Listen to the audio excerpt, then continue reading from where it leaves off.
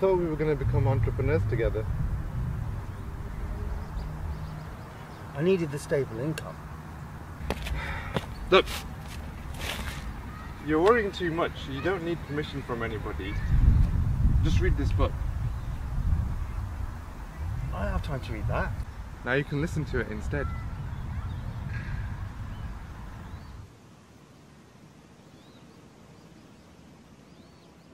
Entrepreneurship needs much more encouragement in Muslim homes. Our youth You can listen to it in the path of car. the entrepreneur as a viable Or you can listen to it while you're doing dishes. wealth is Or oh, while you're resting. Financial wealth is a great catalyst, but doesn't affect meaningful change.